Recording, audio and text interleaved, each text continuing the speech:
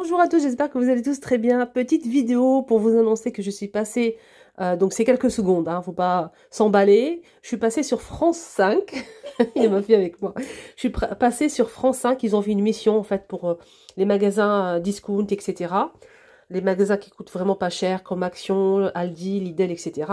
Donc ils m'ont, ils ont mis en fait mon TikTok, c'est quelques secondes, hein, mais vous allez me reconnaître. Je montre les poufs à 6 anneaux et le tapis.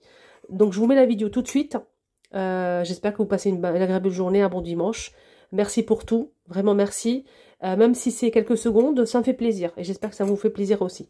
Voilà, donc euh, je vous mets l'extrait, voilà, et je vous embrasserai fort. Bon dimanche à tous. Bisous, bisous. En 2023, le groupe est même devenu l'enseigne préférée des Français. Toutes les enseignes, sur les réseaux sociaux, quoi de neuf chez Action? Des milliers d'anonymes filment leurs achats et partagent leurs bons plans. C'est un tapis à poil court, magnifique. En Belgique, à une heure de Bruxelles.